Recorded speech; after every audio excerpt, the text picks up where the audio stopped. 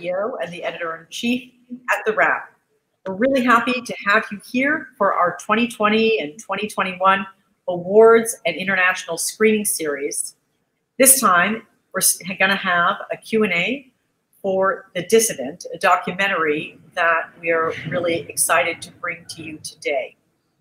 Just in general, just know that we are going to be bringing you many more titles, many more conversations throughout this year's extended awards season, all of it streaming online. So look out for invitations to those and be sure you're invited to all our future events. If you're not on our list today and you want to join, you should check out our membership sign up page on Wrap Pro, which is just go to the, to the Wrap homepage and click on Wrap Pro.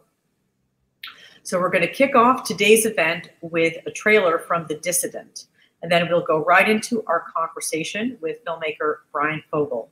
And then we will conclude the event with an audience Q&A so, uh, so you can queue up your questions uh, and post them in the live chat right next to the screen. Uh, so let's start out and see a trailer from The Dissident.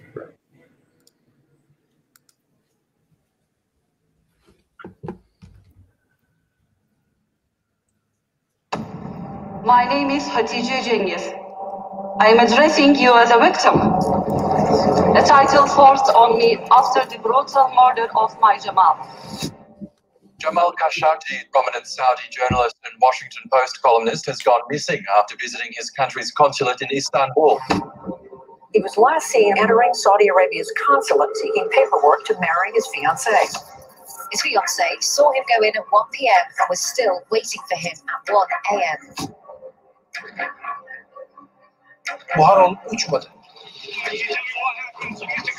Saudi Arabia now suddenly is admitting that Khashoggi did die inside that building.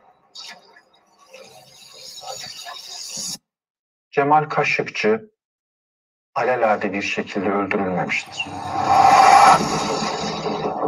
The government treated me as if I shot the king.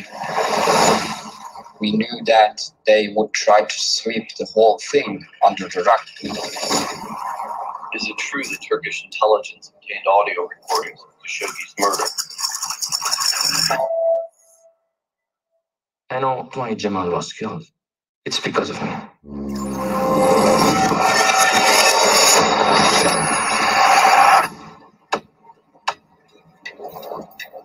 Birileri tüm olup biteni rahatlıkla seyretmiş, hatta talimatlar vermiş olabilir. Save some particularly damning piece of the puzzle, like Saudi body double.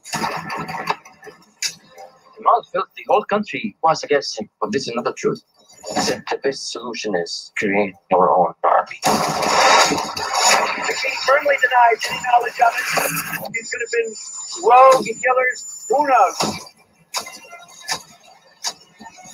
I just received this. Be careful. Move from city to another one, and there's a team is going to kill you soon. It's anonymous.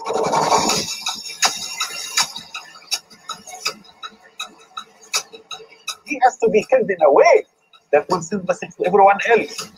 Because if you kill Jamal with his status, who else you cannot kill? You can kill everyone.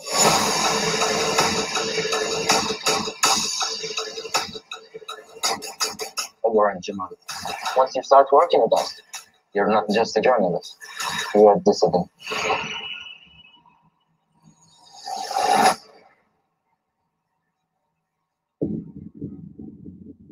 What do you know about the beast?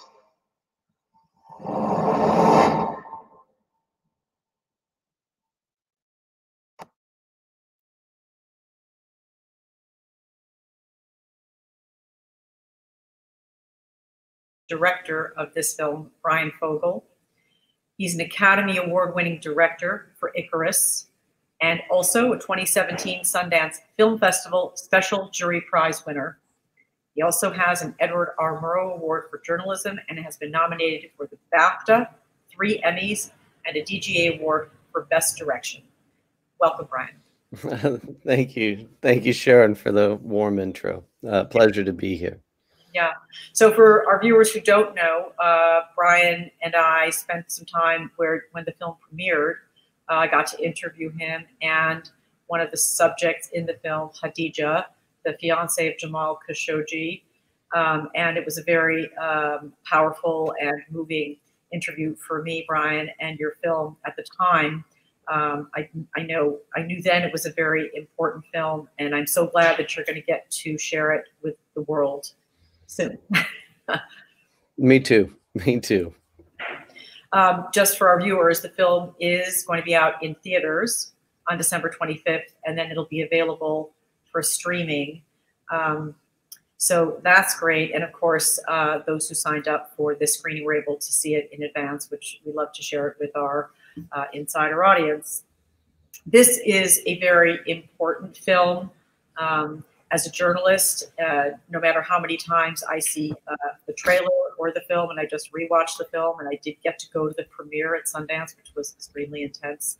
Um, and as somebody who started out as a foreign correspondent in the Middle East, it fills me with rage. I will just tell you. Um, and uh, so I would just start by asking what drew you to this topic, having come off of your uh, Academy Award for Icarus about uh, drug drugging in the Olympic sports world.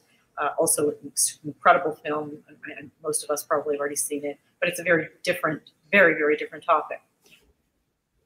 Well, you know, uh, having went through that journey of Icarus, which ultimately led to me uh, literally protecting a, a whistleblower, uh, having Gregory Rodchenkov arrive in the United States with nothing more than a, a backpack and a carry-on, um, and then myself and my team uh, navigating, uh, you know, these uh, myriad of pitfalls to bring his story forward to the world, and then ultimately protect him, guide him into federal uh, protective uh, custody where he remains. Um, and then bring that story to the world that resulted in Russia being banned from the 2018 uh, Pyeongchang Olympic Games. And had the Olympics uh, happened this last summer, Russia uh, appeared that they would uh, be banned yet again for um, uh, fabricating Gregory's evidence. Um, that it, it, it led me to want to continue um, my work as a filmmaker uh, to take on stories that involved human rights, that involved freedom of press, freedom of journalism, where I could be a filmmaker, but that I could also be an activist uh, behind these stories and um, and get involved in in a way that perhaps um, uh, many storytellers would otherwise not look to be uh, involved. And uh, after Icarus, I was looking for that next story. I was looking for that next film that that I wanted to make, and at the same time, I I felt a, I guess I would I would call it a, a burden, um, and that I wanted to make sure that my next project um, had that weight that I felt uh, Icarus had in being able to affect real world change, that in being able to hopefully change lives uh, of people um, uh, and hopefully for the better. And as the murder of Jamal unfolded uh, in the media um, in the month of October, um, leading to Saudi Arabia, I believe on October 16th or 17th, finally admitting that Jamal had in fact died inside that consulate. So um, to remind people, it was, we're talking 2018, so we're almost exactly. Yes, two almost two years. Um, um, as I d- started to dig into it, it, it, checked all these boxes for me. It was a story of of a Washington Post journalist, a Saudi journalist, uh, who was a moderate, who was advocating for freedom of speech, freedom of press in his country, believing that his country could be better.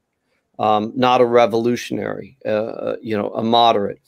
There was there was a story of, of human rights and Omar Abdulaziz in Canada that was emerging in the days following Khashoggi that had been hacked using uh, Israeli cybersecurity software Pegasus, and in hacking Omar and hacking Jamal, Um, Omar believed that he was one of the reasons why they murdered Jamal, um, and that his brothers and friends are still sitting in a Saudi prison.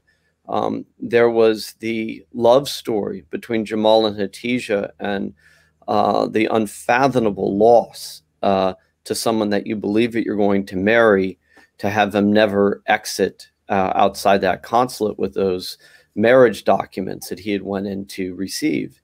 And all these elements you know to me felt like um, was a story that i wanted to dive into and the question became is could i gain that access and trust right exactly of Hatice and Omar and the Turks and the Washington Post to craft the film and the story that was not going to be archival news and that was going to truly be um, the story, or as I kind of thought of it, as the untold story behind the murder of Jamal. Yeah, that's that's a great background. I really want to just recap for our viewers and our listeners the just the short version of what happened here because it never loses its ability to shock, which is that a Saudi uh, national, Jamal Khashoggi, was living in Washington, D.C., in exile, writing reformist and critical journalism about the country that was his native country, where he spent many years working close to the royal family, travels to Istanbul to get paperwork to marry his fiancee, who is a Turkish woman. And he goes into the embassy, and in that embassy, he is murdered by a squad of people sent from Saudi Arabia on private planes that belong to the to the government. Uh, murdered, suffocated. I'll say because you that becomes clear in your film and then, as we now know, dismembered and removed from the embassy in pieces. And it is such a still, it is such a it is such a small thing because it's one man, and it, yet it is one of the most shocking stories I've ever heard in a lifetime of seeing shocking films and documentaries and reporting on them myself. And um, Saudi Arabia, let me just remind everyone, is an ally of the United States. So you did get quite a lot of access, Bryan, and you did uh, succeed in digging up things that we did not know. Um, without wanting to give the whole film away, because many people watching probably haven't seen it yet, let's talk a little bit about the things that you were able to get access to and the things that you um, didn't expect to learn that you were able to to learn and share share with the world? Well, um, I, I, think I think uh, that that encapsulates it pretty well, Sharon. I mean, the, the world knows of the story of Jamal walking into a consulate to be murdered and dismembered. Um, but I, I, felt that there was and is a story that has still not um, been told. And what the film contains is um, I guess I'd call it a, a treasure trove of new information, detailed information, uh, and uh, and evidence, which is still uh, to this day, and uh, you know, as the film gets released, um, has not come forward. Um, among these items are uh, Tur the Turkish voice, the Turks uh, who examined the crime and the murder and have been involved in the prosecution of that murder. Um, and all the interviews in the film from Irfan Fidan, the chief prosecutor, Abrahimi Gul, the justice minister, Fahrettin Altun, uh, President Erdogan's spokesperson, uh, and Recep, the uh, CSI police examiner. Uh, none of them have ever uh, appeared on camera or sat for an interview uh, before. Um, so that is really the inside story. Um, the transcript of Jamal's murder, um, Turkey released little pieces of it, uh, but still to this day have never uh, released that transcript. Um, to the media. Um, it's in the hands of the CIA, British intelligence, the French, uh, and the Turks. Um, and uh, they provided that full transcript uh, to me uh, in order uh, to weave that story and the details of what happened to him to, in making the film. so that is exclusive to the film as well as the Turkish police footage from inside of the consulate and the uh, consul general's home, um, as well as the audio from Omar Abdulaziz of the Saudi rendition team that had come to Canada uh, to basically try to rendition Omar uh, back to Saudi and those recorded messages. And then, of course, there's tons of personal uh, archives from uh, Jamal and Hatice and their messages between each other, their text messages, the text messages between Jamal and Omar, um, and the list kind of goes on. So, um, you know, this really is uh, the story behind the story, and um, and there's so much in the film that just um, uh, ha has yet to actually be seen. I will also point out that um, you're an extremely inconvenient person to be around for the Saudi Arabian government. Um, they had a really good friend in President Trump, probably still do, and they have had major ambitions to bring investment to the to the country. I mean, I, I continually come across people who've just been to um, some state-sponsored visits. Still now, people still going to this uh, incredible, like, I wouldn't say it's like a Las Vegas type city, but they're building this whole city that they've developed for uh, entertainment. And um, I need photographers, I need producers, I need uh, people who have been, you know, kind of wined and dined. I'm not sure so much during COVID, but but certainly in the wake, you know, still in the time after Khashoggi was killed. And so it would be it would be so much better if we they could just we could all just move on from this one little lapse and human rights. It's very inconvenient. Well, it's not really a, a one little lapse. I mean, this is a authoritarian regime that has tens of thousands of people sitting in their jails uh, for doing nothing more than sending a tweet uh, for or for making a comment not um, uh, in line with the vision or uh, or narrative of the kingdom. I mean, this is a country that has a, a long stretching record of human rights abuses. Uh, they beheaded some eight to 900 people last year. Most of these people that were beheaded um, were young uh, activists uh, that just had the audacity of saying something not in support of Mohammed bin Salman or the kingdom. So uh, this is this is a long stretching narrative, um, and also in suppressing women's rights uh, as well uh, and the nature of that society. Um, but we've been willing to look the other way. Um, and many in Hollywood have been willing to look the other way as well, because Saudi Arabia holds the world's largest sovereign wealth fund. They also are the, you know, the backer of SoftBank, the world's largest hedge fund.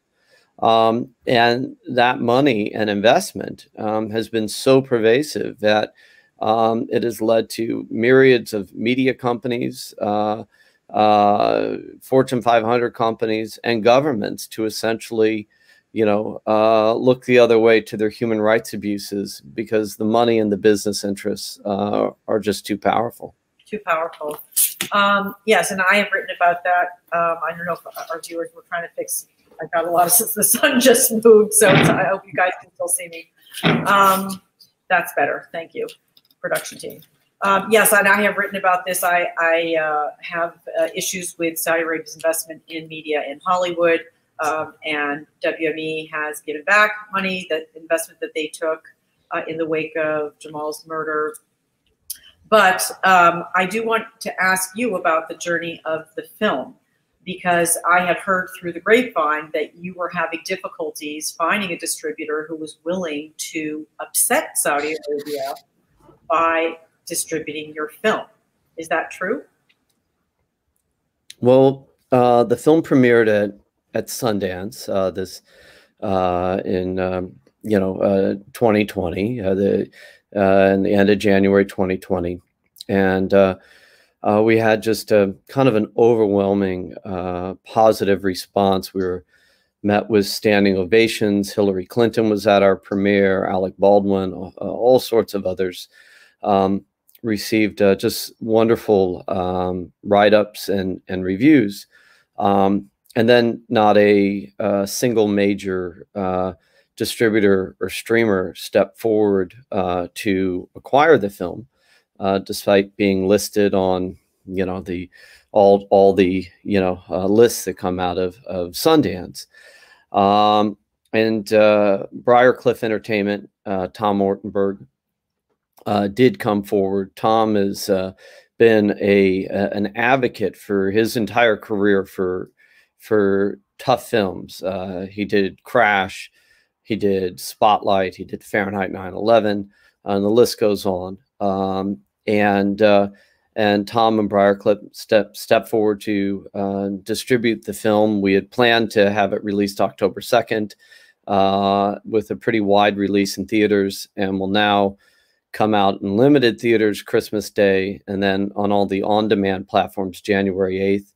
Um, we also have quite a few foreign distributors lined up, notably Altitude in the UK, which is uh, wonderful, and Madman in Australia, and a variety of other distributors in Europe. But in terms of the major, major streamers uh, yeah. or studios, um, it was across the board um, fear, cowardice, uh, and protecting of their business interests, their subscriber growth, uh, or not wanting to upset the apple cart in that region. And just in the last few months, uh, Amazon uh, announced that they uh, acquired Souq in Saudi Arabia, uh, which is basically the Amazon of Saudi Arabia. So even despite everything you see in the film of Jeff Bezos's hack and that they killed, um, you know, arguably an employee of Jeff Bezos, uh, Amazon is still doing business with Saudi Arabia. Netflix just announced uh, an eight-picture deal uh, with the Saudi Arabian production company, which is you know, has to be involved uh, with the kingdom and the government because that's how it works there. Um, and uh, Netflix is clearly very uh, focused on growth in Saudi Arabia, having removed uh, Hasan Minhaj's episode uh, about a year and a half ago that revolved uh, around the murder of Jamal Khashoggi. Um, you know, and and this can be said of of all of the major studios or, or streamers that that the appetite is for the money and the business interests, and that takes precedent over human rights. So um, I'm grateful to uh, Tom Ortenberg and Briarcliff that are going to give this film uh, life. Well, you just said a mouthful right there. I think uh, it, it's incredibly insidious how this um, money wields its way into an otherwise uh, free society, ours, I mean now, a democratic society, um, and, and uh, uh, open commerce. And so I think it's really um, important for you to point those things out. It is a little bit shocking that Amazon would be doing uh, a big deal. Shocking, maybe it's not shocking. Um, uh, in the film, you reveal that Jeff Bezos met MBS, uh, Mohammed bin Salman, the ruler of Saudi Arabia. You have images of the texts they exchanged. And then you also note chronologically by, a, I guess it's an investigator from the UN. I maybe I have that wrong. David Kaye, Yes. Okay, who is bringing as an independent observer, saying that they've noted the an outpouring of data from Jeff Bezos's phone shortly after that happened. So, right. and, and, let's also point out, because none of us ever found out how this happened, that his affair, uh, you know, in his private life was was uh, put in the National Enquirer with all of these photos of his personal life, and every and me as a journalist was uh, I, I broke my head trying to figure out how who was how did they get those photos, and still we don't know, but it is all very very suspicious. And it just goes from like the mo from the biggest deal of like a international crime to a, a personal affair on the page of the National Enquirer, which you could call trivial, but still look at how much it's how insidious this this is. Well, this was uh, Mohammed bin Salman, or you know, uh, basically hacked Jeff Bezos in revenge for him owning the Washington Post. Because what what's so hard, I think, for us in Western media to understand, and, and what, or for Mohammed bin Salman to understand, is just because somebody owns a newspaper doesn't mean that they control what the newspaper writes uh, in a world where you have free speech and free press. So, in Mohammed bin Salman's estimation, because Jeff Bezos owned the Washington Post, that means that he could control what the Washington Post writes about. And the fact that the Washington Post had uh, covered Jamal's murder, had brought it to be front page news, had pushed the story forward across all other media outlets and newspapers, and that he was a Washington Post journalist, and that they kept at it. Uh, you know, I think MBS looked at it as like a, you know, as a personal affront to him but it wasn't. It was simply, you know, a, a newspaper doing its job uh, in free press. Well, it but, was the, because but the hack of his phone, you know, is, it shows that. I mean, if you can hack the phone of the richest man in the world, I mean, who who can't you hack? of a tech company.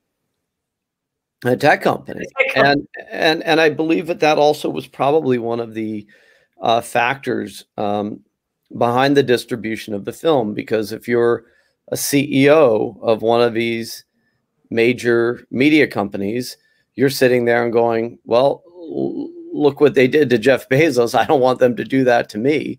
Um, i mean there's a similar story going on right now with ryan white uh, and assassins. Um, you know, Ryan did the Keepers. He just did this film about the murder of uh, of Kim Jong Un's brother uh, in Malaysia, and they again couldn't get uh, a major um, media partner, you know, studio streamer behind it uh, because of the lingering fear behind the Sony hack uh, involving the interviews. So, you know, we see business interests constantly um, to this day in this moment uh, trumping, for lack of a better word, uh, you know, stories involving human rights and free speech um, that we know that a global audience wants to learn about, but might not align uh, with those business interests uh, or security concerns. So there's an interesting conundrum, I think, when it comes to Saudi Arabia in some ways, because it's not just um, business interests, although I 100% agree and feel like we need more daylight around those relationships. But um, at the time uh, when I was writing about your film uh, and other, and I've written about Saudi Arabia before, it's a particular interest of mine, not, not just because of how they treat women. Um, there is a uh, an activist who dared to drive her car, who is still uh, Loujain Hathloul. Loujain Al Hathloul. Um, I mean, so that goes on, and she was briefly on hunger strike recently, and I'm in touch with um, women's groups that and journalist groups that want to support her. She's not she's not a journalist; she's an activist mm, Yeah, she's on she's on trial right now for driving her car. I mean, in that's, Saudi Arabia. Yeah. that's really what she did. That's not I know that's not the charge against her, but that's basically what she did, right? But at the, but at the same time, what I wanted to say is when I spoke to some some experts about in the Middle East and sort of tried to get a read on where should we be on Saudi Arabia, you know, the word came back as like there's there MBS has also opened society quite a bit, um, and women now can drive despite putting this woman on trial. And there are, and, and he really does want to bring uh, cinema and live entertainment uh, and open up and and and help Saudi society progress beyond oil and become more open.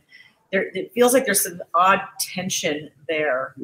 Well, that's the irony of it. Um, Loujain Hathloul basically drove before it was legal for women to drive because she was launching a social protest, you know, and saying that women in the country should be able to drive. Uh, then Mohammed bin Salman made it legal for women to drive, but because she drove before it was legal, she uh, is uh, has been arrested and has been an enemy of a government for basically speaking out. And torture. Um, and tortured. So you know, so everything is on his terms, on his timeline, and you know, and this was what Jamal was writing and advocating about. He was not saying, uh, "Let's overthrow the kingdom." Uh, there shouldn't be a monarchy. Uh, nor was he saying, "I don't, uh, I don't like MBS." All that he was saying is that he believed that the rule of one man and one man's opinion alone is dangerous, and that in any society, all societies, you have to be open to other narratives, to other opinions, and that in the case of Saudi Arabia, he was simply saying that you know, yes, many things that Mohammed bin Salman had been doing are positive for the country, but at the same time, he is repressing uh, any voice against him. And you can't be a great leader of reform and open up your society and at the same time arrest, jail, imprison, or behead anybody who dare speaks an opinion different from yours. And that is uh, the irony of you know of of MBS and what is going on uh, in in in Saudi. It's really well put. So we're about to embark on a new presidency in this country uh, with a very different approach to governing and international relations. Joe Biden is a veteran of international affairs. His Secretary of State is uh, somebody who's a centrist guy I happen to know from my uh, past years in reporting abroad, and um, very, very different from what we've seen. What do you think should be our um, our approach to Saudi Arabia, and is there something more that we should be looking for in terms of uh, Jamal Khashoggi's murder um, with this new administration that's coming in? Um, well, uh, yeah, our our conversation has turned very political outside of the uh, of uh, of the film. Uh, but you know, look in in in in making the film, uh, you know, part of part of making it became uh, being an activist. And uh, Hatice, in the months following Jamal's murder, once she was ready, uh, she wanted to come to Washington uh, to meet with senators and congressmen uh, and fight for justice for his murder. And uh, I helped put that together for her, for her to come to Washington and take um, these meetings. And and in being with her in Washington uh, during that week, um, you know, we met with so many senators and congressmen, and there truly was bipartisan support ac- across the aisle uh, to look deeper into the U.S. relationship with Saudi Arabia, uh, to impose sanctions upon Saudi Arabia, to block weapons sales, uh, to do what we could to stop the war in Yemen, um, and reassess that relationship and hold MBS accountable for Jamal's murder. Uh, what we then saw was that the Trump administration, despite what uh, both houses passed, Congress and the Senate, um, you know, or the House of Rep- Representatives and the Senate Senate passed, uh, Trump vetoed.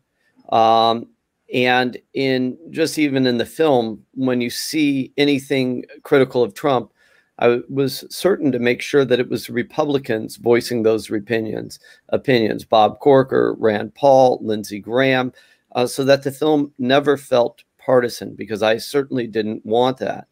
Um, and uh, you know, but Biden put out a statement on October second, on the second year anniversary of Jamal's death, uh, saying you know that he wants uh, justice for Jamal. He believes in holding Saudi Arabia accountable for this murder, and if elected president, uh, one of his uh, first things he will be doing is reassessing uh, the U.S.-Saudi relation relationship and and seeking justice for Jamal. So that's yet to be determined what happens, but there appears to be uh, um, a desire, at least on behalf of the uh, incoming administration, uh, to have accountability for this crime and have accountability for Saudi Arabia's human rights abuses.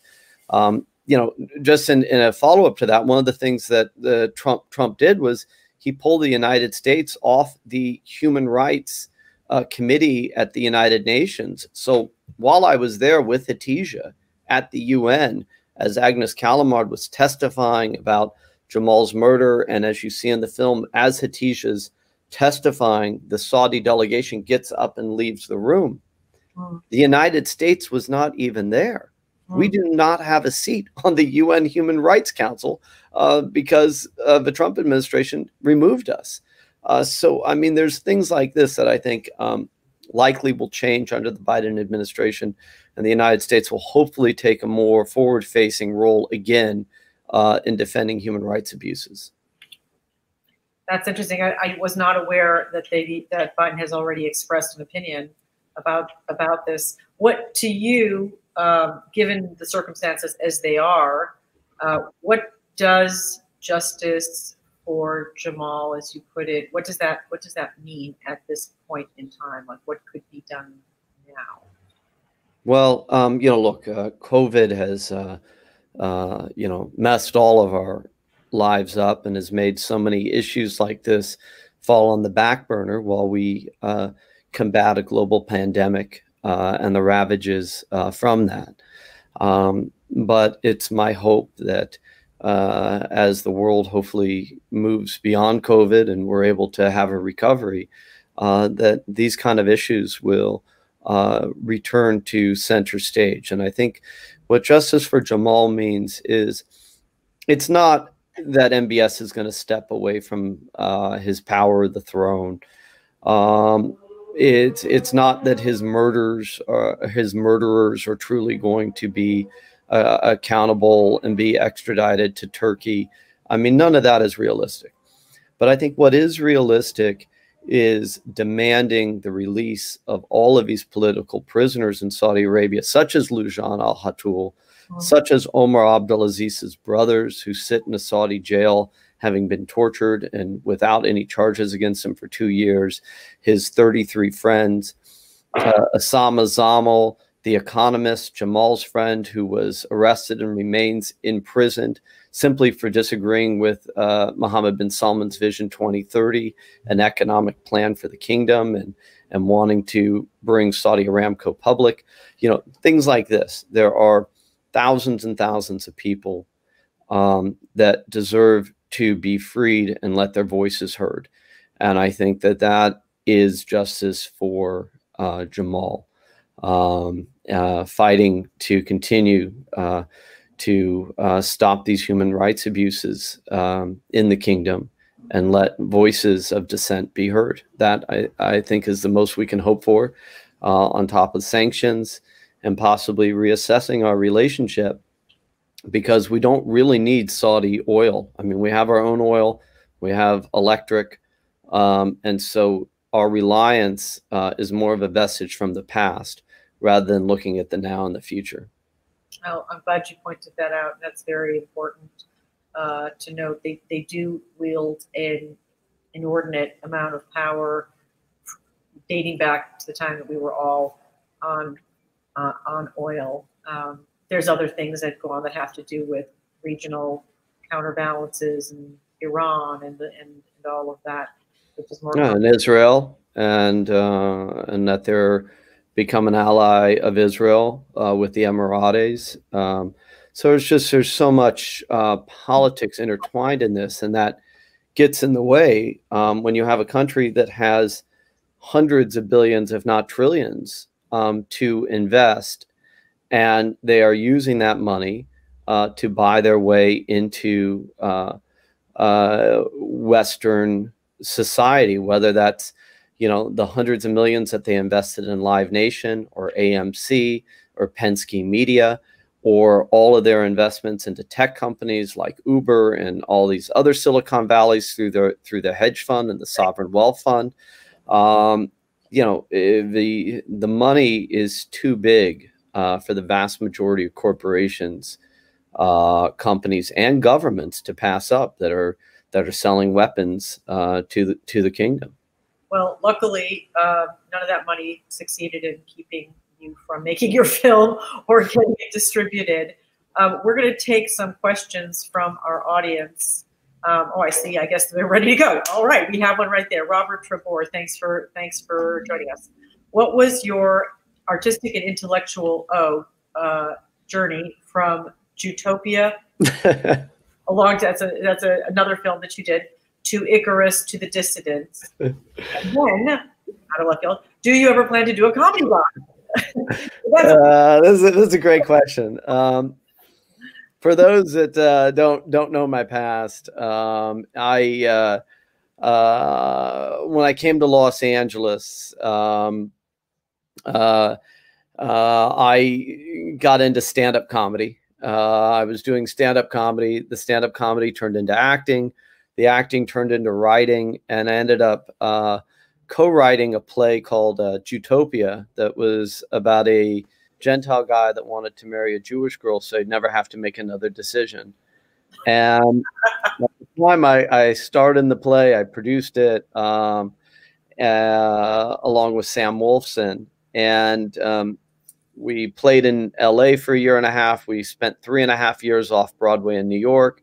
And then I directed the feature film adaptation of, uh, of the play uh, by the same name, Jewtopia, that had Rita Wilson in it, and Tom Arnold, and Jamie Lynn Sigler, and Peter Stormare, and uh, uh, a whole cast of uh, other wonderful comedic actors.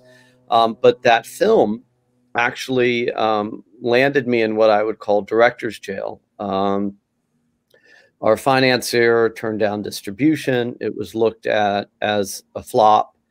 And um, this was in 2012 uh, and 2013, and it and it uh, I was uh, without work. I was broke, um, and I was trying to figure out how I was going to reinvent um, my career, my my life, and uh, uh, cycling was what I have always been passionate about as a hobby.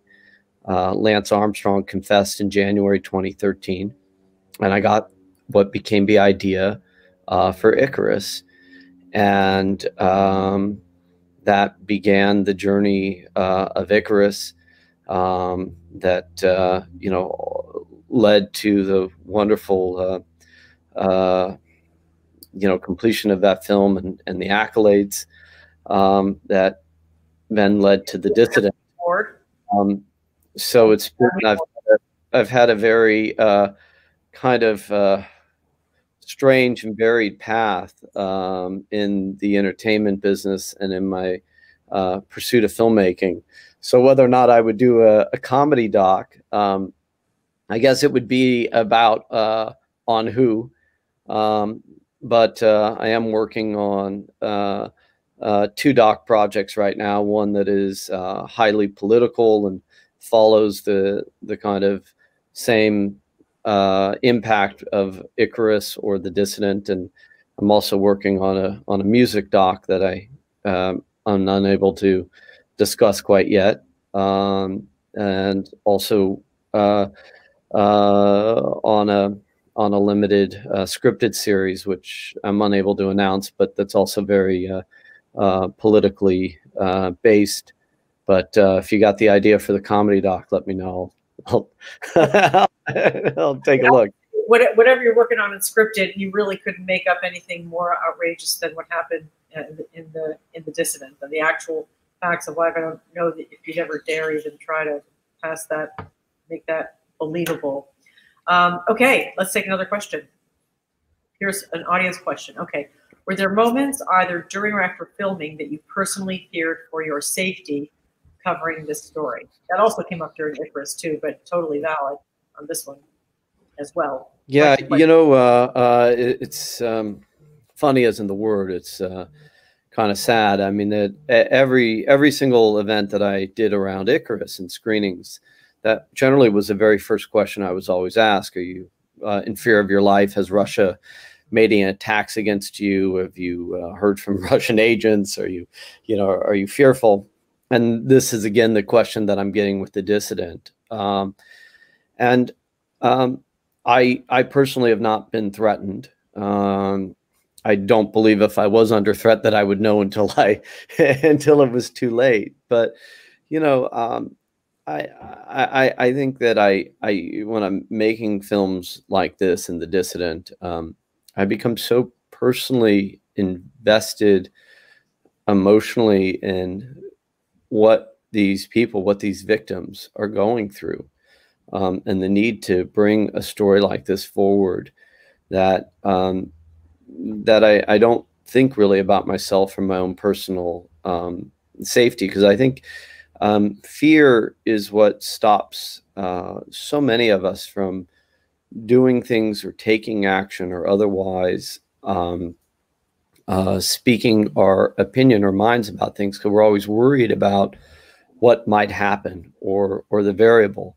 And if you look at Hatice Cengiz, I mean, here is a woman that uh, was a, a writer uh, on on Oman, uh, was seeking uh, to be a journalist, um, and yet in the aftermath of Jamal's murder, I mean, she could have just cowered and went, you know, back, you know, into her quiet life and pretended that this didn't happen and move on. But for two years now, she has become Jamal's voice, um, and that to me is is you know uh, is is not only brave. It's it's an example of of how to lead.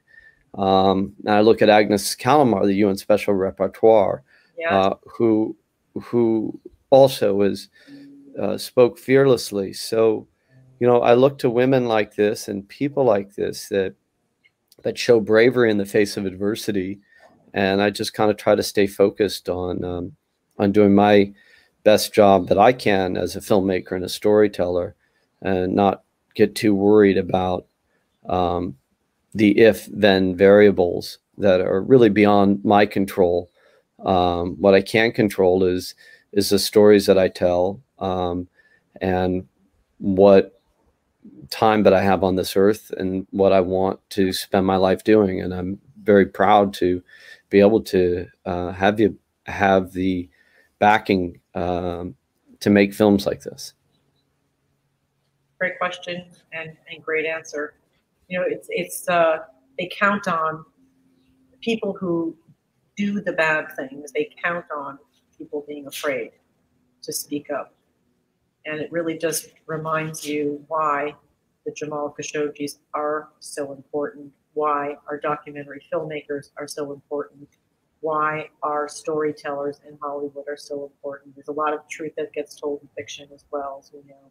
So um, fears fears the fear is the is the enemy of of truth. Really, I think it's fair to say. Um, let, let's It really is. Let's uh, take a question. Uh, Abhishek Daryawan, thank you for joining us. Do you think the release of this film will restart a conversation about human rights violations, or is it just going to be reminiscent of what went down? I think that is a very good question. And I think the answer to that lies in uh, hopefully all of the tens of thousands, millions of people around the world that hopefully will see this film. And um, uh, the Human Rights Foundation um, backed this film. I, I couldn't have made this film without Thor Halvorssen uh, and the Human Rights Foundation. And um, long story short is when I um, set out to begin this journey of making The Dissident, um, I got connected uh, to Thor. And uh, the Human Rights Foundation runs the Oslo Freedom Forums, uh, which they host every May in Oslo. Uh, and they bring dissidents from all over the world in uh, to speak about what is happening uh, in their countries, what human rights abuses are happening in their countries. And pretty much anyone uh, is welcome at the Oslo Freedom Forum. And they host one in Taiwan, they host one in Mexico and New York, but the big one's in Oslo. And this is what the Human Rights Foundation uh, puts together. Um, and they had Jamal uh, speak. Not he didn't speak. He attended in May of 2018. Um, and Iyad al Baghdadi, who appears in the film, who's an Emirati uh, dissident and has become a vocal Saudi dissident and was friends with Jamal, uh, actually brought Jamal there. And so as I went to go make this film, I, I meet Thor, and Thor and I talk about it, and Thor also uh, had already been in, uh, had already reached out to Omar uh, Abdulaziz, and Thor said, "Look, this what you're doing and what you did with Icarus, but what you want to do in the story of Jamal aligns perfectly with our foundation and what we are advocating for, and uh, we would like to."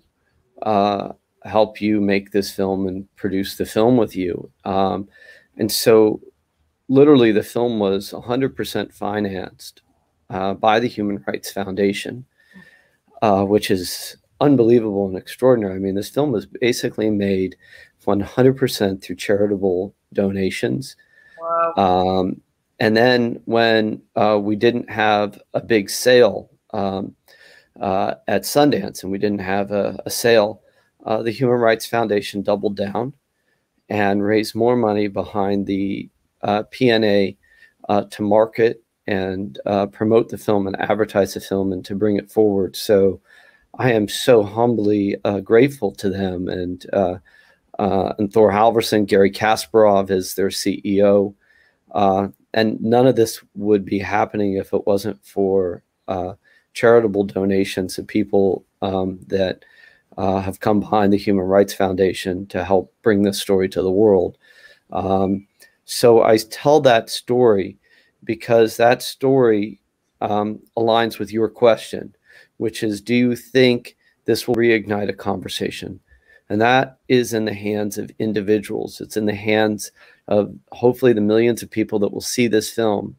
And just like the Arab Spring happened, just like the Black Lives Movement, Black Lives Matter happened movement, just like Me Too movement happened. All these grew from angst through people's opinions, through uh, through people wanting to share what was going on in their worlds and take action. And I think that this film can do that, but it's up to people to take those reins and ask their their governments to hold Saudi Arabia accountable to ask their leaders to hold uh, the kingdom accountable uh, and mandate uh, that that you know these uh, uh, that these concerns are met. And this also has to do with you know uh, turning an eye to these media companies and big businesses that are willing to look the way about a murder as horrific as this in exchange for subscriber growth. Or their business interests in the kingdom. Beautiful. I did not know that about the Human Rights Foundation. That's I've never heard of that actually before behind uh, a documentary. That's amazing. Um, we're almost out of time. I can take one more question, and I, I think we're going to have to wrap. Do we have another question? Do. How has covering the story affected you personally after this film? Um, you know, when you go through something like this, um, you know, I uh, I basically spent all of 2019 uh, uh, with uh, Jake Swantko, my producing partner and cinematographer, uh, in Istanbul. Uh, shooting. I spent seven months in Istanbul, about four months in Montreal, and then was with Hatice in Washington, New York, London, Geneva, back and forth to Ankara. Um, it was uh, it was emotionally uh, draining and exhausting uh, making this film because uh, part of this is you become involved in these people's lives, and to me, Hatice's uh, a sister to me now. Omar's a brother. Um, I, I, I, I love these people, and um, and I fell in love with Jamal in making this film um, and so, you know, it, it really is emotionally draining when you see the actions of of uh, of our government and the Trump administration. Um, and Bob Woodward's book, I mean, he's on tape saying, "I saved MBS's ass," and he's proud of that. Uh, he's proud that he uh, was basically able to help MBS cover up this crime. Um, you know, you you, you, it's hard not to become emotionally invested and um, and I wanted uh, and I thought better of so many um, uh, companies and corporations that I have now learned uh, don't hold my beliefs, don't hold my interests in being an activist. And um, it's certainly been emotionally draining, but it's also been inspiring because the film is going to have a release because there are Tom Ortenbergs in the world that uh, that are willing to give this film a life and get it be seen. And I believe that change can can come and and and you see it. I mean, just in Hatice, uh, when I met her, she didn't speak a word of English. She's now fluent in English, oh. and and she's committed her life to fighting uh, for human rights and justice for the man that she loves. Um, and so, you know, uh, uh, these this this emotional um, kind of journey that I've been on. Um, there's also been a lot of happiness in it, also um, because uh, I feel proud of the film and I feel proud to uh, get to know people like Hatice, to get to know people like Omar, uh, to get to be in situations where you get to meet people that um, go through great loss, but also are able to fight through it and make change. And uh, and that's a real honor for me as a filmmaker. Um, and also getting to work with the, my creative team and people like Thor Halvorssen and Mark Monroe and Jake Swantko and my editors and creative partners that share um, those ideals that I do and getting to collaborate uh, and make something that um, becomes art, but it also uh, becomes a story of truth. And hopefully, the combination of those two elements uh, can lead to change. That's really great.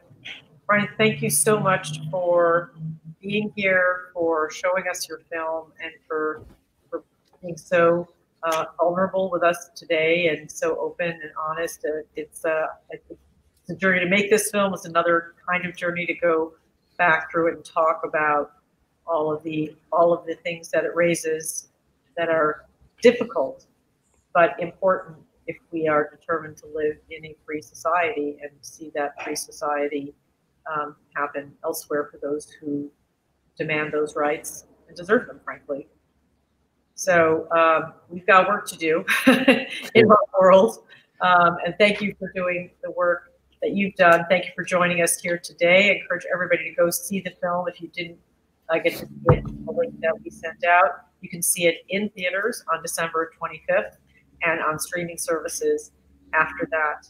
Um, thank you all for being here. Uh, if you want to sign up for more screenings in our screening series, you can check out uh, Wrap Pro. If you sign up for Wrap Pro, which is a free seven day uh, trial, you will automatically be invited to these screenings and um, look forward to many more fascinating conversations with other talented filmmakers. But for today, thank you so much, Bryan.